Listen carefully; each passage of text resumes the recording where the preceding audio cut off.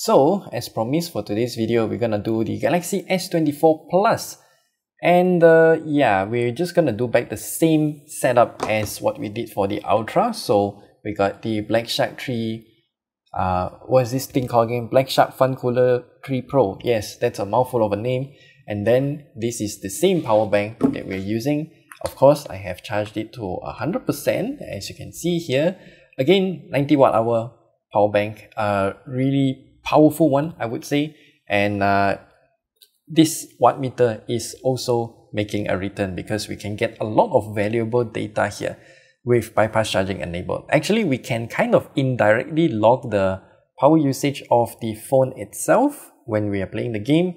And we can also see how much it will thermal throttle. So, so like what we did for the Ultra, I'll be enabling GPU watch, which I have already did here.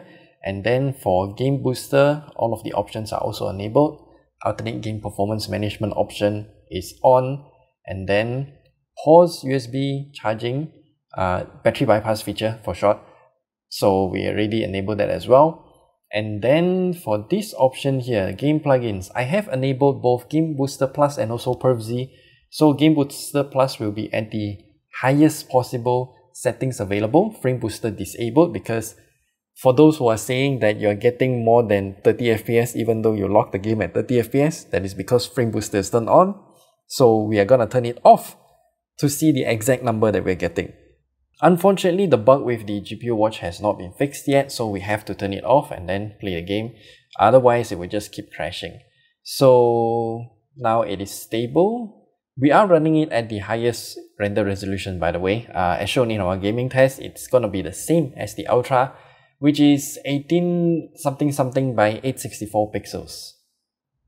Let me just plug this in real quick. This goes here. This goes here. Uh, so for the first half of this test, I will be testing the phone without the cooler first and see how much wattage it will consume while it thermal throttles. So we should be getting a sine wave, but I want to know the exact values that it is drawing in. Now, since we have already enabled battery bypass feature, uh, we can see that the phone is now at 35% battery. When we plug it in and play the game for half an hour, the battery percentage would not change. Oh, yeah, power bank turned on. So yeah, it was at 34%. So let's just continue exploring Chenyu Vale, I guess that's what I want to do in this video. Oh yeah, if you unlock the Liyue uh, treasure compass thing, you can use it in Chenyu Vale as well. So, yay. So for this video, I'm gonna skip a lot of sections because uh, it, eh, I want to make it as spoiler free as possible. But I do want to provide you guys updates and, and my findings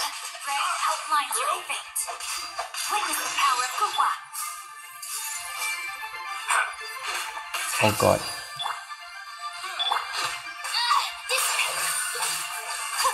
You see, when I'm playing during the day, I can get about 90 something ping, which is better because once we did any sort of gaming, Genshin gaming at night, then it will be like half a second of ping. I have no idea what's happening. I hope they fix it really quick.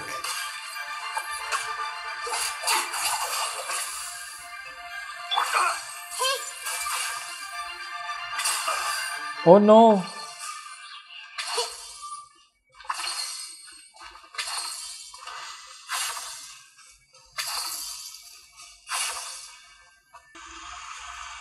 Remember, this phone will start thermal throttling at about like 40, 46 degrees Celsius, 47, somewhere around there. So be on the lookout because it's currently rising quite fast. We're already at 43 degrees Celsius. Hmm.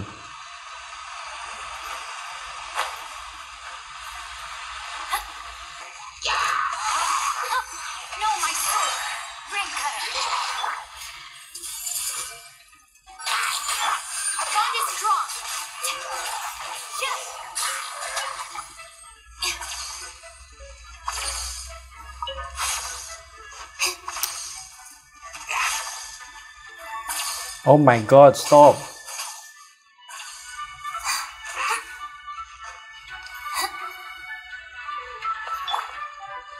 outlines your fate.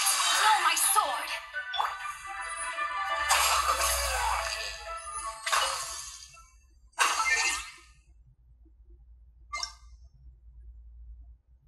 Increase this so that Nahida can do, do the taking picture a lot easier.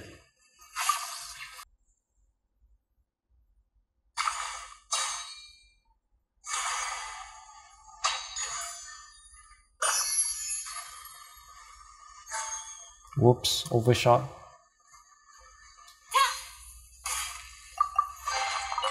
Every little bit counts.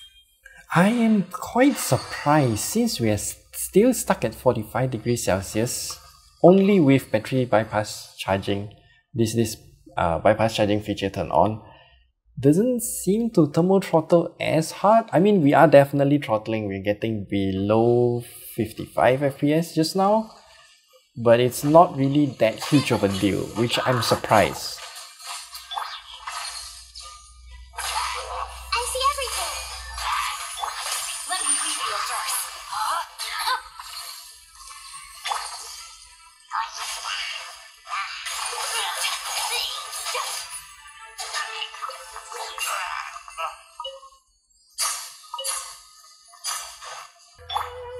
Do I need to defeat these animals?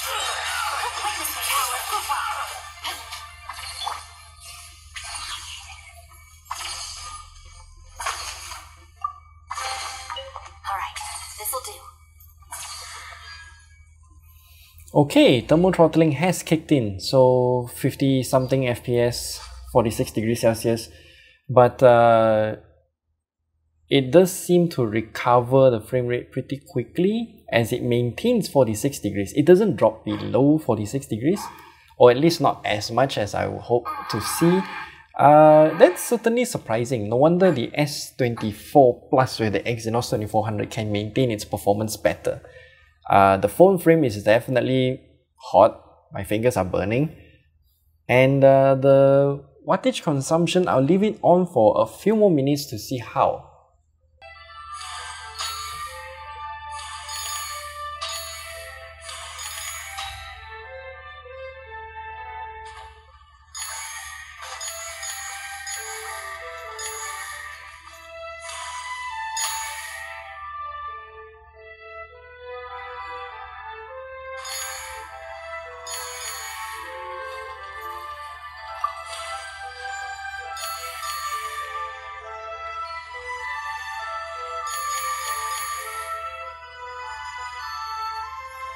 This place is massive. a lot of vertical area as well.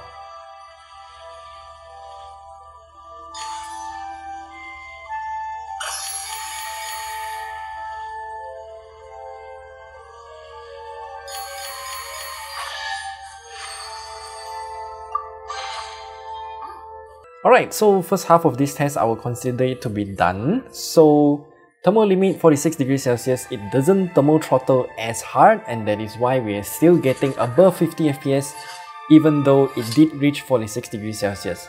Um, this is interesting, so new data gathered for our upcoming video, subscribe to know more about that in the future. Oh, we should also check the battery percentage. So just now was 30, 38%, 34%? Yeah, 34 and now it is still at 34%. So yes, battery bypass doesn't affect your battery. It's just, as the name suggests, it bypasses the battery entirely. Now it is time to slap on the Black Shark cooler. I don't think this will help much because uh, the Exynos 2400 just doesn't throttle as hard as the Snapdragon 8 Gen 3 on the S24 Ultra. I'm not sure what's happening here, but more data is definitely better for our test in the future. So once again, the chipset is located somewhere around this area here, so having the cooler as close to the chipset as possible is gonna be the best. So uh, yeah, this is what we have right now, and we shall continue our gaming test. So with the cooler installed, the temperature should drop to somewhere around 41, I guess, before it hits equilibrium. I will also start the logging for part 2 right now. So let's continue. Um, yeah, the temperature has really dropped by 3 degrees compared to just now. So TECs, they work pretty fast.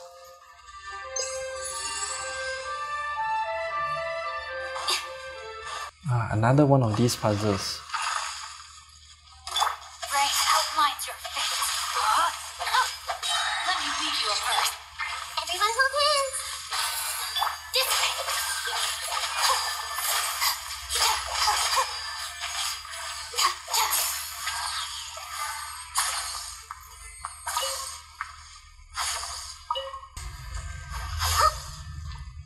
Wow, the temperature has dropped to 40.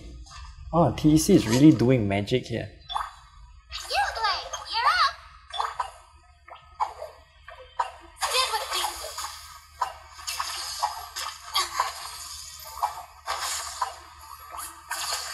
Big brain move.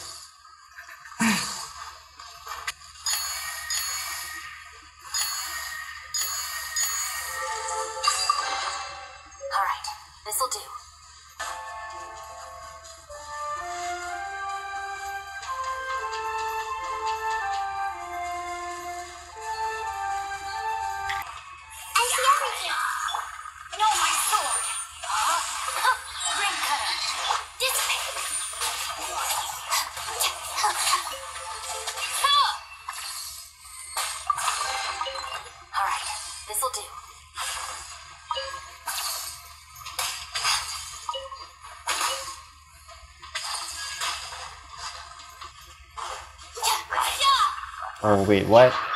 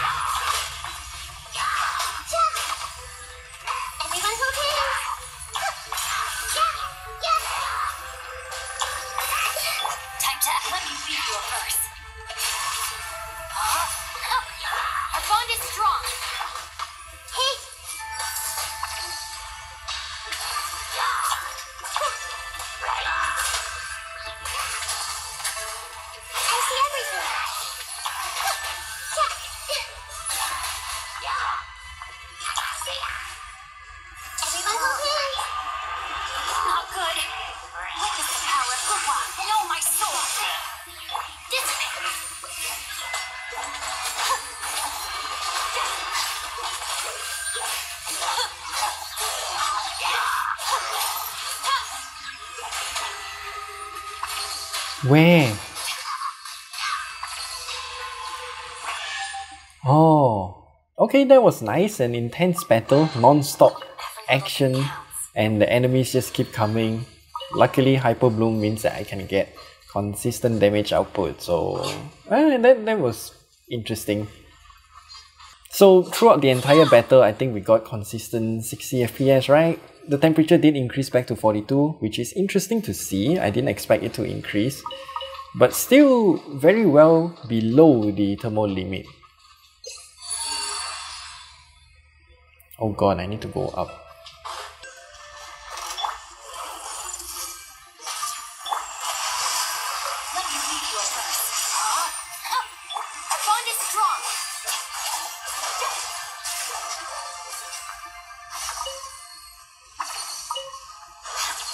I mean, it's never gonna thermal throttle once we slap a cooler in. And I'm looking at the graph right now, and uh, it doesn't seem to change that much in terms of the wattage.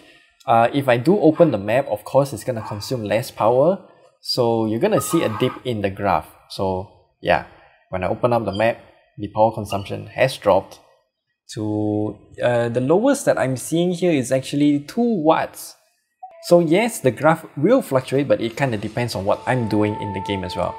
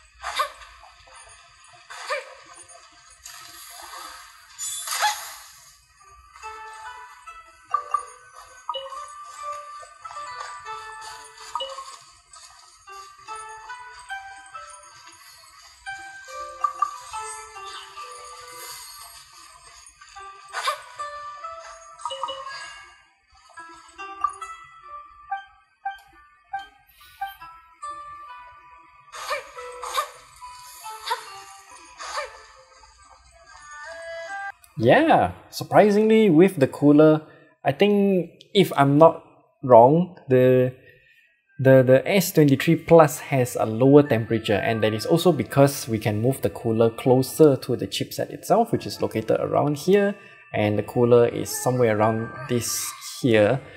So we're getting less than 40 degrees Celsius once the cooler is on the phone itself and in terms of wattage I can definitely see that this is much more linear than the Snapdragon counterpart, the S24 Ultra. And yeah, I'm I'm just kind of surprised by the result overall.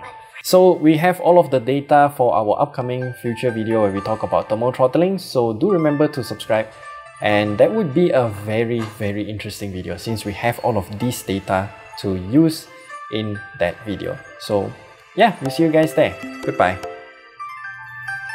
Chen Yu Vale is amazing by the way.